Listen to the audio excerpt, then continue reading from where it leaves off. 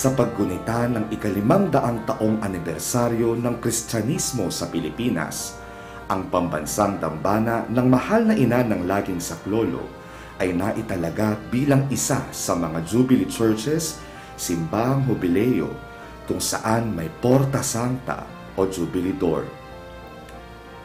Sa mga makikibahagi ay ipagkakaloob ang plenary indulgence na ikinawad ni Papa Francisco ito ay natatanging biyaya ng pagpapatawad sa kaparusahan mula sa mga kasalanan. Kalakip nito ay ang pagsasagawa ng mga sumusunod. Ang pangungumpisal, ang pagtanggap ng banal na Eucharistia, at ang pagdarasal para sa Santo Papa. Ipanalangin din ang katapatan ng mga Pilipino bilang mananampalataya pagdami ng may bokasyon sa pagpapari, hermano at madre, pagtataguyod ng pamilya. Magtapos sa ama namin, sumasampalataya at pagtawag kay Inay Maria. Sa pagpasok natin ng Porta Santa, alalahanin at isapuso din natin ang hamon na maging masigasig na tagapagpalaganap ng Ebanghelyo. Ibahagi natin ang biyaya ng pananampalatayang ating natanggap bilang mga misyonero, misyonera ng dakilang pag-ibig ng Diyos.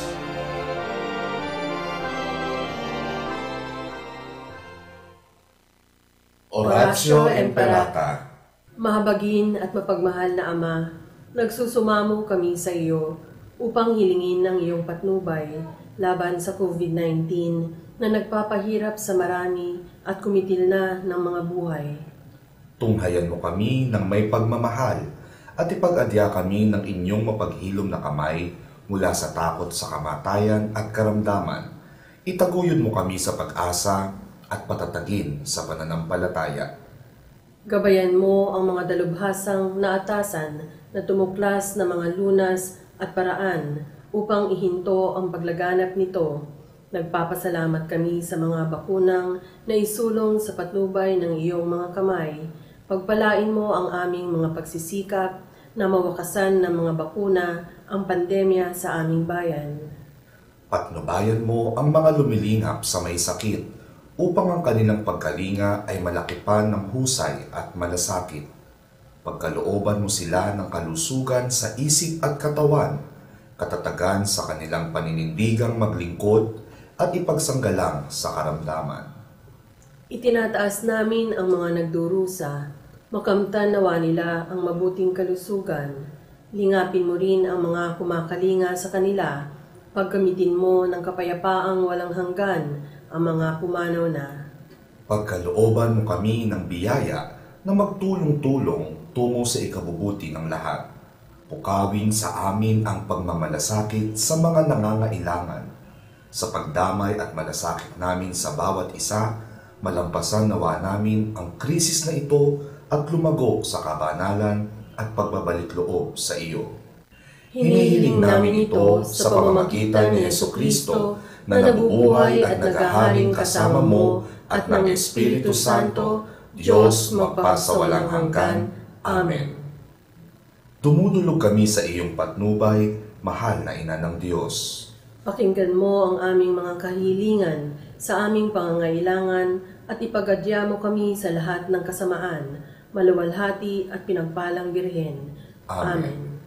Mahal na Birhen, mapagpagaling sa may sakit. Ipanalangin mo kami. San Jose, Ipanalangin mo kami. San Rafael Arcangel, Ipanalangin mo kami. San Roque, Ipanalangin mo kami. San Lorenzo Ruiz, Ipanalangin mo kami. San Pedro Calungsod, Ipanalangin mo kami. aming ina ng laging saklolo. Ipanalangin mo kami.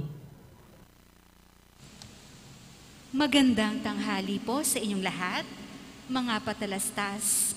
Ang lahat po ay malugod na inaanyayahang dumalo at makiisa sa mga sumusunod. Una, misa para sa mga kabataan sa ikatlo ng Hulyo, Sabado, sa ganap na alas 5.30 ng hapon. Pangalawa, St. Gerard League Mass sa ikalima ng Hulyo, lunes sa ganap na ikasyam at kalahati ng umaga. Operation Laging Saklolo. Makikita po sa monitor screen ang ulat as of June 19, 2021 ng mga natanggap nating tulong. Gayon din, ang bilang ng mga na, naipamahagi na na Solidarity Assistance Committee, SAC, at ng Perpetual Help Mobile Kitchen mula sa laging Saklolo Community Pantry. As of June 12, 2021, tayo ay nakapamahagi ng tulong sa 17,020 individuals. Patuloy po kami nagpapasalamat sa inyong pagiging laging saklolo sa mga kapatid nating nangangailangan. Maraming salamat po. Magsitayo po ang lahat para sa ating pambungad na awit, Inang Sakdal Linis.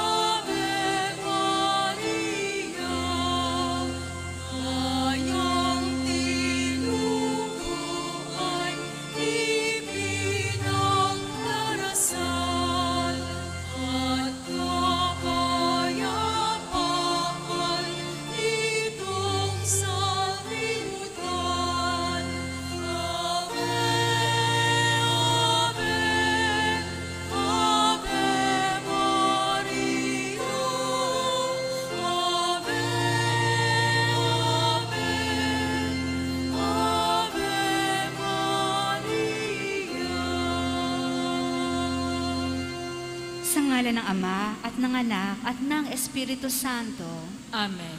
Mga kapatid, bilang mga anak ng ating banal na ina, ay nagtipon-tipon tayo sa harap ng kanyang mapaghimalang larawan upang parangalan siya at humingi ng lahat ng ating kailangan sa Panginoon sa tulong ng kanyang panalangin.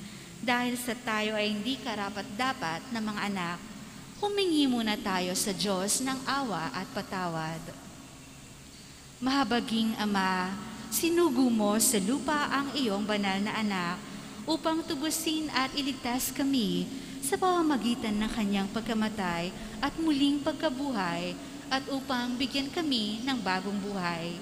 Sa pamamagitan nito, ginawa mo kaming iyong mga anak upang magmahalan kami tulad ng pagmamahal ni Kristo sa amin. Anong limit naming malimutan ang dakilan naming karangalang ito. Nagkasala kami sa aming mga kapatid, nagkasala kami sa iyo. Mahabaging Ama, patawarin mo kami. Tapat naming pinagsisisihan ang aming mga kasalanan. Kahabagan mo kami, maawaing Ama. Lagi nawa kaming mabuhay bilang matapat mong mga anak. Magsiupo po ang lahat.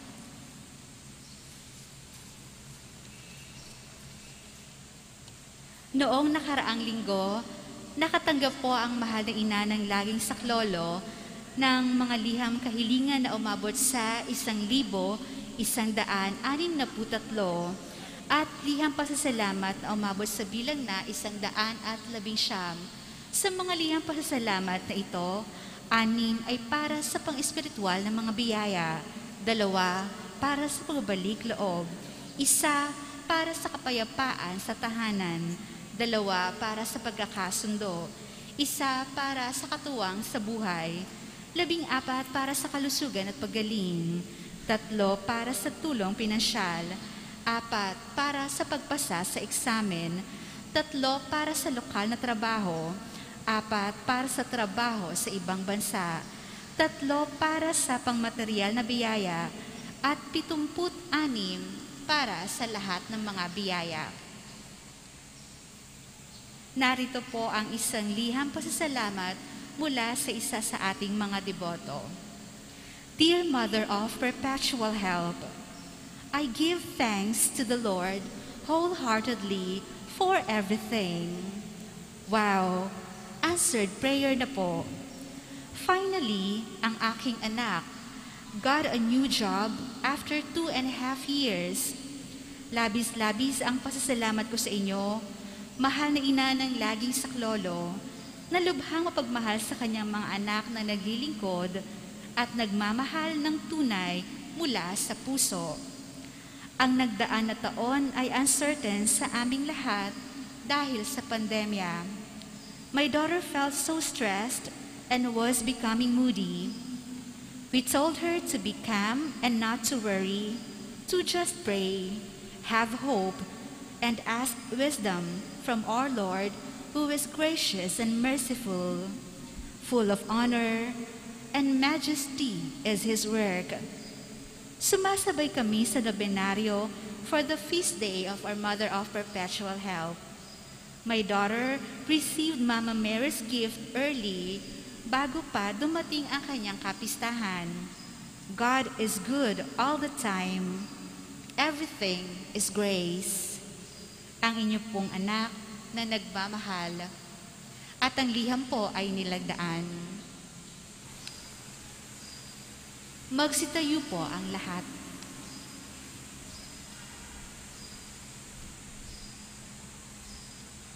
Sumainyo ang Panginoon. At sumayo rin. Pagbasa mula sa mabuting balita ng Panginoon ayon kay San Juan. Papuri sa iyo, Panginoon. Noong panahong yon, sinabi ni Jesus sa kaniyang mga alagad, Ako ang tunay na puno ng ubas at ang aking ama ang tagapag-alaga. Pinuputol niya ang bawat sangang hindi namumunga at kanya namang pinuputulan at nililinis ang bawat sangang namumunga upang lalong dumami ang bunga. Nalinis na kayo sa pamamagitan ng salitang sinabi ko sa inyo. Manatili kayo sa akin at mananatili ako sa inyo. Hindi makapamumunga ang sangang hindi nananatiling nakakabit sa puno. Kayun din naman, hindi kayo makapamumunga kung hindi kayo mananatili sa akin. Ako ang puno ng ubas, kayo ang mga sanga. Ang nananatili sa akin at ako sa kanya ang siyang mamumunga ng sagana, sapagkat wala kayong magagawa kung kayo'y hiwalay sa akin. Ang hindi nananatili sa akin ay itatapon at matutuyo, gaya ng sanga. Ang gayong mga sangay titipunin at susunugin kung nananatili kayo sa akin at nananatili sa inyo ang mga salita ko. Hingin ninyo ang inyong maibigan at ipagkakaloob sa inyo na pararangalan ang Ama kung kayo'y namumunga ng sagana at sa gayo'y napatutunayang mga alagad ko kayo. Ito mga kapatid ang mabuting balita ng ating kaligtasan. Pinupuri ka namin, Panginoong Heso Kristo. Magandang tanghali po sa inyong lahat mga kapatid. At muli ay welcome dito sa ating dambana ng mahal na ina ng laging saklol. Tila tayo'y nasa yugto pa rin ang linggo ng kapiestahan sapagkat nasa ating harapan pa rin ang mga simbolo ng pag-aalay ng malalim nating debosyon sa mahal na ina ng laging saklolo. Kaya't happy fiesta ng ina ng laging saklolo sa inyong lahat. Narito ang mga bulaklak, kulay puti na simbolo ng ah, dangal, kapuri, puri na gawain ng pag-aalay ni Maria ng kanyang sarili. At ang pula na simbolo ng tapang, ng dugo, ng buhay na siyang pag-aalay naman ni Jesus ng kanyang buhay. Ayon sa ating ebanghelyo, si Jesus ang sanga, ang ama, ang taga pag-alaga ng sangang ito. Tayo naman ang mga maliliit na mga dahon at sanga na pinagmumula ng puno na si Jesus ang puno mismo. Maging sa ating dambana ay naroon ang simbolo, isang napakalaking ah, bulaklak na napakaganda ang nasa gitna at sa gitna ng bulaklak na ito ay ang imahe ng mahal na ina ng laging saklolong nag-aalay sa atin kay Jesus. Tila ibinabahagi ni Maria si Jesus sa atin upang sundan natin siya. Ang kanyang kamay na nakakandong sa natatakot na si Jesus dahil mismo sa mga simbolo ng pagdadaanan niyang buhay ng pag-aalay ng sarili sa misyon sa umagitan ng krus, pagkapako sa krus, koronang tinik, sibat, itong mga hawak ng mga anghel. Subalit, sa kalagitnaan din ng ating altar ay makikita natin sa baba nito, sa gitna ay nandoon ang banal na Eucharistia, ang katawan at dugo ni Jesus, nasa gitna ng simbolo ng mga puno ng trigo at puno at bunga ng ubas. Trigo na naging katawan at dugo, ubas na naging dugo ni Kristo. Kaya't ito ang buhay na ibanghelyo sa larawan sa ating altar. Ngayon din mga kapatid ay may isang larawan dito sa unahan na marahil ay hindi pa natin lubos na kilala. Ah, siya naman ay si Beato Henaro Maria Sarnelli. Sino ba si Blessed Henaro Maria Sarnelli? Siya po ay isang Redemptorist priest na nanguna din sa pagtataguyod kasabay ni Saint Alfonso na siyang pundador ng ah, mga Redemptorists. Ang kabanal-banalang mananakop ang siyang naging inspirasyon at tawag ni Saint Alfonso kasama si Beato ah, Henaro Maria Sarnelli na ang pagsunod sa misyon ni Jesus ay kanilang isabuhay. Mga kapatid, marahil ay hindi po ninyo ah, lubusang nakikilala na sa ating dambana ay lagi tayong nananalangin na ang isa sa ekspresyon, pagpapahayag ng misyon ng mga Redemptorists dito sa Baklaran ay ang pangangalaga natin sa mga kabataan, lalong-lalo na yung mga street children, street families, yung mga inabandona ng kanilang mga magulang dahil sa kahirapan, yung mga biktima ng prostitusyon, ah, mga kababaihan, ay sinisikap po nating maabot upang sa maliit nating makakaya sa tahanan na tinawag nating Sarnelli Center for Street Children ay maalagaan. Matagal na po itong ating misyon na ito sa inspirasyon ni Beato Henaro Maria Sarnelli na tayo'y ipinapaabot ang malalim nating debosyon sa umagitan ng pangangalaga sa katulad ni Jesus na natatakot sa kaniyang magiging misyon, subalit kinalingan ng mahal na ina at siya namang naging saklolo natin sa anumang ating hamon sa buhay. Maraming pinagdadaanan ang ating bayan, ang kahirapan ang siyang sanhi kung bakit marami tayong mga kababayan na wala man lamang masilungang tahanan. Walang pagkaing makakain, walang gamot, at lalo na ngayon sa gitna ng pandemya ay lalong dumaranas ng lalong higit na kahirapan. Ang inspirasyon ni ah, Blessed Henaro Maria Sarnel, siya po'y isang ah, abogado. Ah, nagmula siya sa pamilya ng mga mayayaman sa Italia. Subalit ang kanyang puso'y punong-puno ng kayamanan, hindi ng kayamanan ng mundong ito, sapagkat maging ang kanilang mga kayamanan ng pamilya na kanyang minanay, ibinahagi niya sa mga mahihirap. Hindi niya inangking kanya kung hindi ibinahagi upang ipagpatayo ng mga tahanan ng mga mahihirap.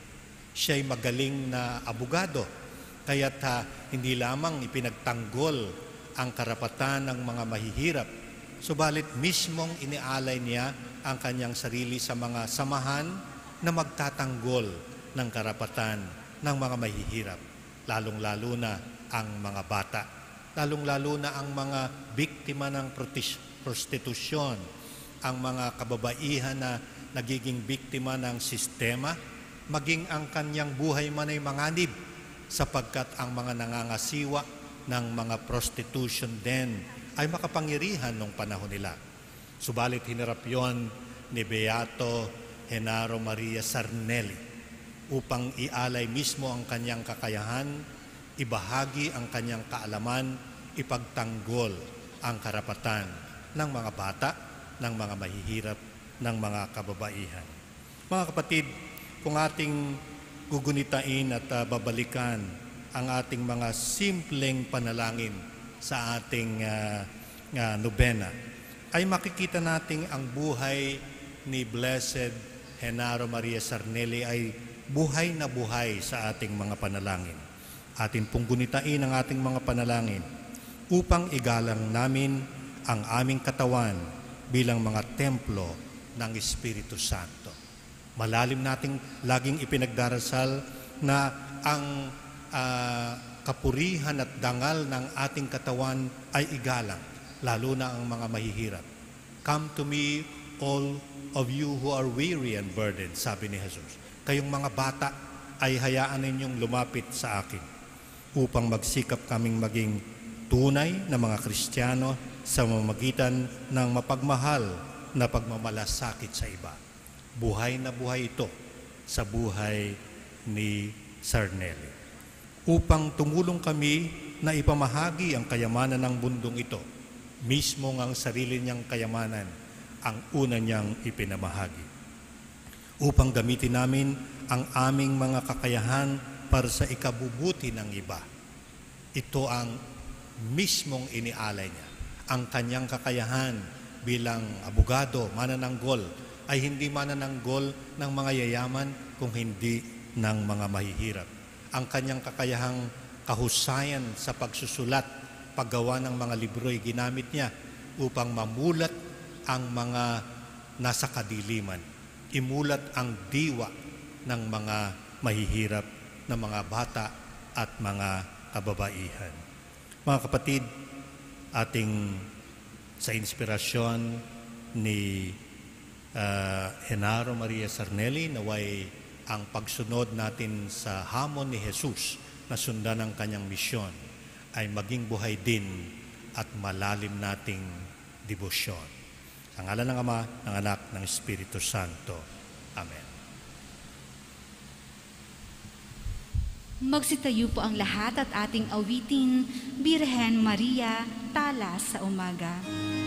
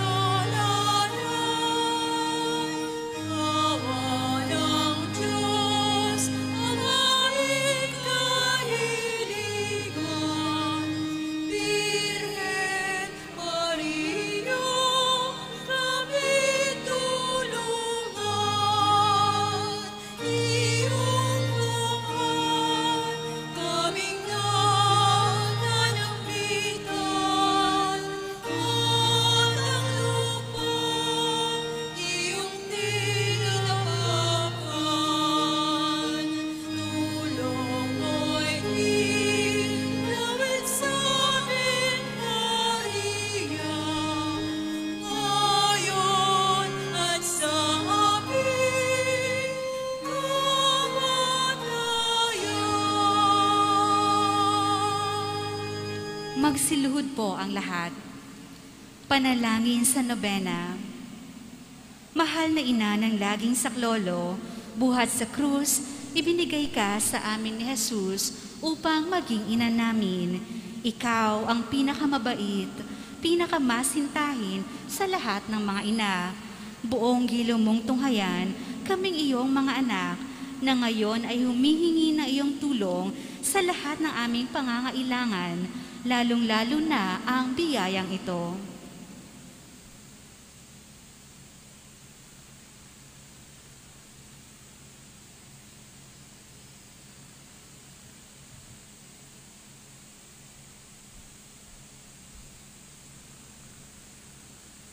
Noong ikaw ay nasa lupa, minamahal na ina, ikaw ay buong pusong nakiramay sa paghihirap ng iyong anak, sa tulong ng iyong pananalig at pagtitiwala sa makaamang pagmamahal ng Diyos, tinanggap mo ang kanyang mahiwagang kalooban. Mayroon din kami mga krus at mga tiisin sa buhay, kung minsan ang mga ito'y parang hindi na namin kayang pasanin pinakamamahal na ina, bahaginan mo kami ng iyong malaking pagtitiwala sa Diyos.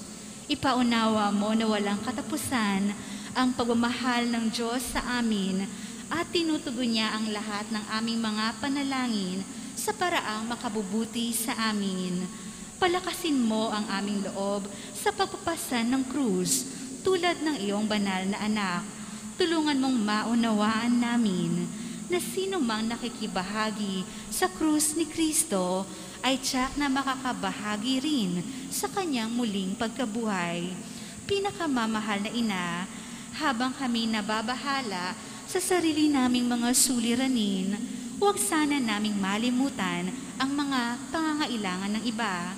Mahal na mahal mo sila.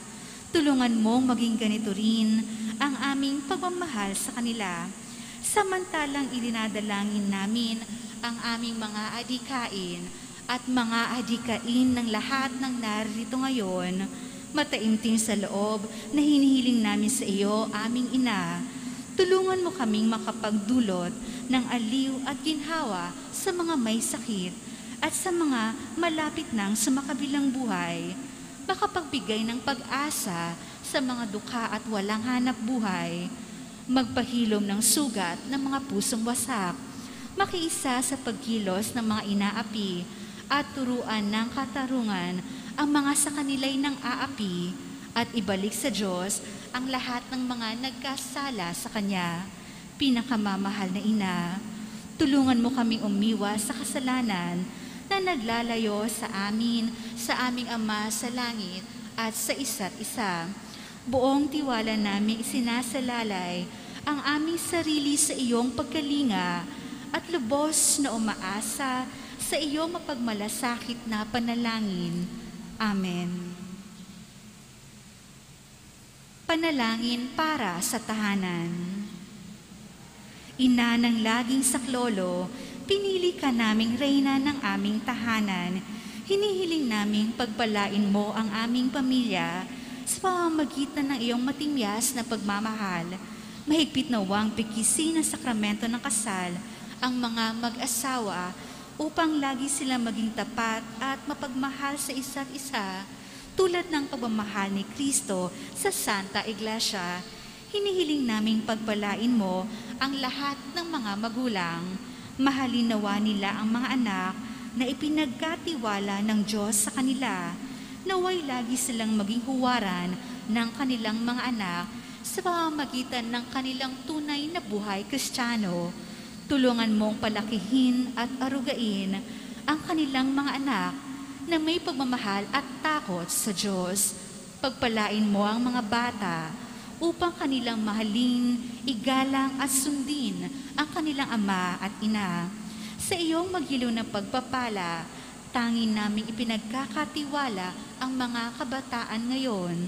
Bigyan mo kaming lahat ng pagpapahalaga sa aming pananagutan nang matupad namin ang aming tungkulin na gawing pugad ng kapayapaan ng aming tahanan tulad ng iyong tahanan sa Nazaret. Ikaw ang aming huwaran. Tulungan mo kami upang sa araw-araw ay lalong magningas ang dalisay naming pagmamahal sa Diyos at kapwa nang sa gayoy maligayang maghari ang katarungan at kapayapaan sa buong sangkatauhan. Amen. Mga kahilingan sa ating ina ng laging saklolo, Santa Maria, Ipanalangin mo kami. Santang Birhen, ipinaglihing walang kasalanan. Ipanalangin mo kami. Aming ina ng laging saklolo, Ipanalangin mo kami. kaming makasalanan ay tumatawag sa iyo Masintahing ina, ipanalangin mo kami. upang mapuno kami ng Espiritu Santo at maging mga magigiting na saksi sa pagmamahal ni Kristo sa tao. Masintahing ina, ipanalangin mo kami. Upang katulad mo, unti-unti kaming matulad sa aming mahal na Panginoon. Masintahing ina, ipanalangin mo kami. Upang maging mapagpaumanhin at mapagkumbaba kami, katulad ng iyong anak na si Jesus. Masintahing ina, ipanalangin mo kami. upang matakot kaming lubusang masira ang pakipagkaibigan ng Diyos sa amin dahil sa ayaw naming pagsisihang kasalanan. Masintahing ina, ipanalangin mo kami. Upang lagi naming sikaping mata mo ang awa at patawad ng Diyos sa sakramento ng kupisal. Masintahing ina, ipanalangin mo kami. Upang maunawaan namin na tinuturuan kami ng Diyos sa pamamagitan ng mga pangyayari sa araw-araw na pamumuhay. Masintahing ina, ipanalangin mo kami. upang manalangin kami araw-araw na may pagmamahal at pagtitiwala lalo na sa mga sandali ng tukso. Masintahing ina, ipanalangin mo kami. Upang maunawaan namin ang halaga ng sama-samang pagsamba sa Diyos sa Eukaristiya, Masintahing ina, ipanalangin mo kami. upang patuloy na mag-alab ang aming pag-ibig kay Kristo at sa kapwa sa pamamagitan ng malimit na pagtanggap ng banal na komunyon. Masintahing ina, ipanalangin mo kami. upang igalang namin ang aming katawan bilang mga templo ng Espiritu Santo, Masintahing ina, ipanalangin mo kami. upang magsikap kaming maging tunay na mga Kristiyano sa pamamagitan ng mapagmahal ng pagmamalasakit sa iba, Masintahing ina, ipanalangin mo kami.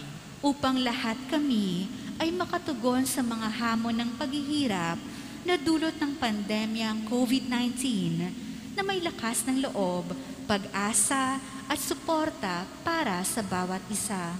Masintahing ina, ipanalangin mo kami. upang ipahayag namin ang dangal ng trabaho sa pamamagitan ng katapatan sa aming gawain. Masintahing ina, ipanalangin mo kami. Upang patawarin namin ng buong puso ang mga nakagawa sa amin ng masama. Masintahing ina, ipanalangin mo kami. Upang maunawaan namin ang kasamaan ng paghahanga sa sariling kapakanan na makakapinsala sa iba. Masintahing ina, ipanalangin mo kami. Upang tumulong kami na ipamahagi ang kayamanan ng mundong ito alinsunod sa katarungan.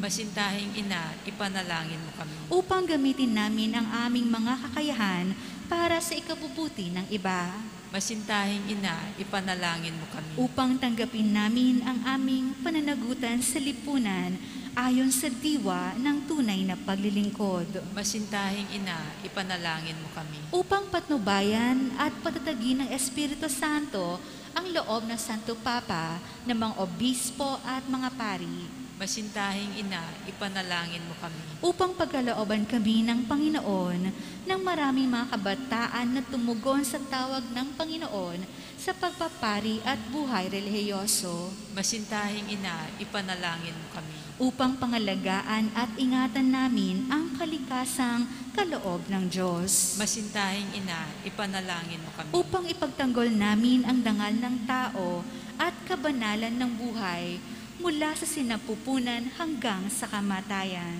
Masintahing ina, ipanalangin mo kami. upang itaguyod namin ang pagkakapantay-pantay ng kababaihan at kalalakihan, Masintahing ina, ipanalangin mo kami. upang magkaroon ng tunay at pangmatagalang kapayapaan sa ating mundo, Masintahing ina, ipanalangin mo kami. upang matulungan naming kilalanin at mahalin si Kristo ng mga hindi pa nakakikilala sa Kanya, Masintahing ina, ipanalangin mo kami. upang maunawaan namin na sa gitna ng aming mga tagumpay, nangangailangan pa rin kami ng tulong ng Diyos. Masintahing ina, ipanalangin mo kami. Upang sa kamatayan, maging handa kaming pumasok sa tahanan ng aming Ama sa langit. Masintahing ina, ipanalangin mo kami. Upang pagdating ng kamatayan sa aming mga mahal sa buhay, kami aliwin ng aming pag-asa sa Panginoong muling nabuhay. Masintahing ina, ipanalangin mo kami. upang idalangin namin na ang mga yumao ay makinabang agad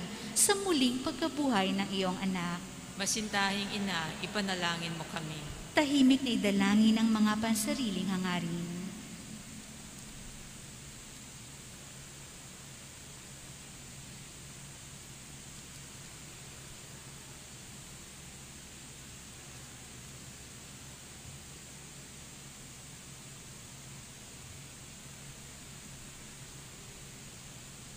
Santa Maria, ipanalangin mo kami.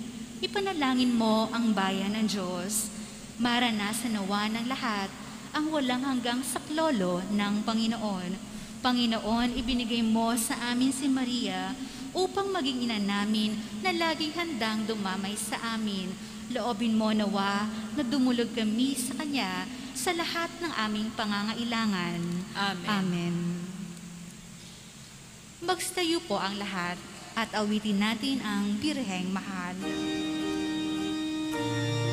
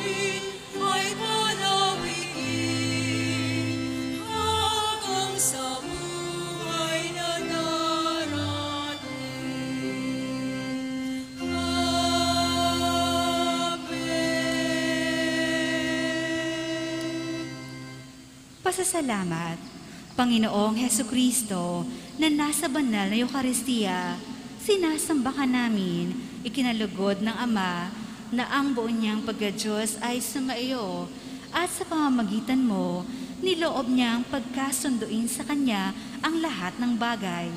Loobin mo na kami ay lubos na magpasalamat sa lahat ng ginawa sa amin ng Ama. Loobin mong pagsisihan naming lubos ang aming mga kasalanan at panibaguhin ang aming buhay. Sa pamamagitan mo, pinasasalamatan namin ang Ama sa pagbibigay sa amin ng buhay. Nilikha niya ang lahat ng kahangahangang mga bagay para sa amin naway gamitin namin ang mga ito sa kabutihan at naway papaglingasin ng mga ito ang aming pagmamahal sa Kanya. Higit sa lahat, pinasasalamatan namin ang Ama sa pagsusugo niya sa iyo bilang siyang pinakadakilang tanda ng kanyang pagmamahal na magliligtas sa amin at sa lahat ng sangkinapal sa pamamagitan ng iyong pagkamatay at muling pagkabuhay. Nagpapasalamat kami sa iyo, Panginoon, sa pagbibigay mo ng iyong ina upang maging ina namin ng laging saklolo. Hari na ang hindi mabilang na biyayang tinanggap namin sa panalangin niya, lalo na sa pamamagitan ng pagnonobena sa Kanya, ay makapukaw sa aming damdamin upang maragdagan ang aming pagtitiwala sa mapagkalingang awa ng Diyos at sa walang sawang pagdamay ng iyong ina.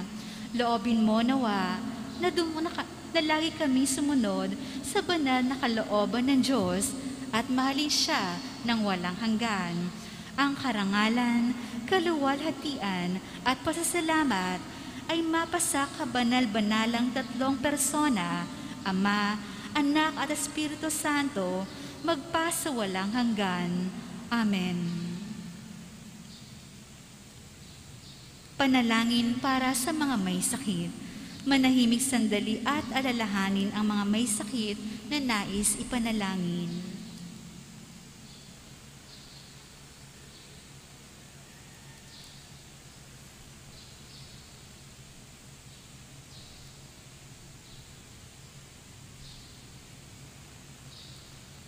Panginoong Heso Kristo, pinasan mo ang aming mga tiisin at dinala mo ang aming mga dalamhati upang iyong ipakilala ang halaga ng pagtitiis at ng pangailangan ng tao ng iyong tulong.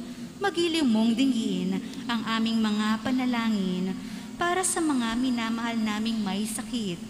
Ipagkaloob mo sa kanila na labis na nahihirapan dahil sa dinaranas nilang mga sakit at karamdaman, ang iyong mapaghilom na lakas at kalinga.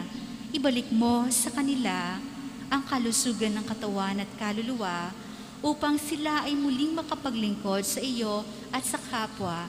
Amen.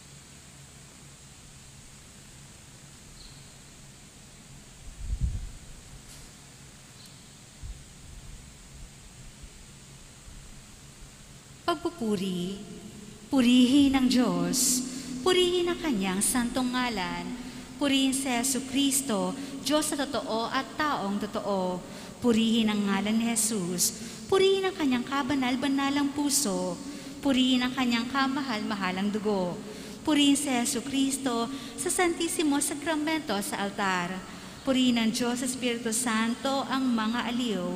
Purihin ang dakilang ina ng Diyos na si Maria Santissima. Purihin ang santa at dinarong isang paglilihi sa Kanya. Purihin ang maluwalhating pag-aakyat sa langit kay Maria. Purihin ang ngalan ni Maria, Birhen at Ina.